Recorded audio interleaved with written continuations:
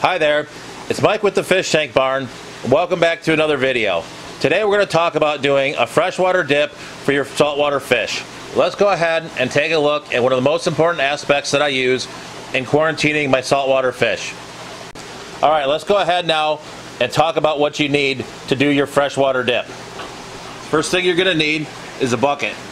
You're going to need an air stone and also you're going to need some fresh water. Fresh water you have, you're going to want to match the pH and the temperature. Typically, here in the fish tank barn, I will use water from one of my African cichlid tanks since it is close to the pH in my saltwater tanks. Uh, we now have our water. Next thing you're going to need is an air stone. So we're going to put the air stone in. Air stone's going now. And then the last thing you're going to need, obviously, is your fish.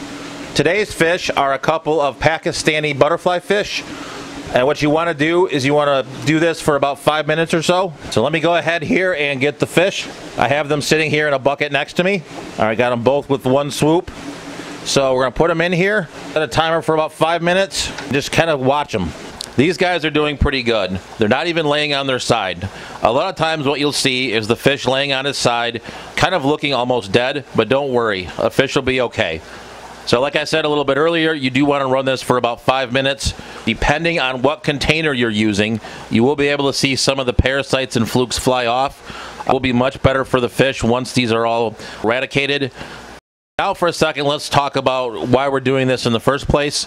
What will happen here is the parasites will suffer something called osmotic shock, which is the change in salinity. Uh, that change in salinity will uh, kill the parasites, and if we do it for the right amount of time, uh, will not kill the fish. But let's go ahead and just wait for the timer to complete, and uh, we'll see what we have when we're done. Like these guys are all set now. I've been in here for five minutes, so I'm gonna go ahead and, and put them in uh, their quarantine tank. We've completed our freshwater dip, and our butterfly fish are now back into their new home. So I hope you guys found this content informative. Uh, if you like this kind of content, please check out some of the other videos on the channel. Uh, also, if you like the channel, please like, subscribe, smash the notification bell. And as always, thank you for your time, and we'll catch you on the next video.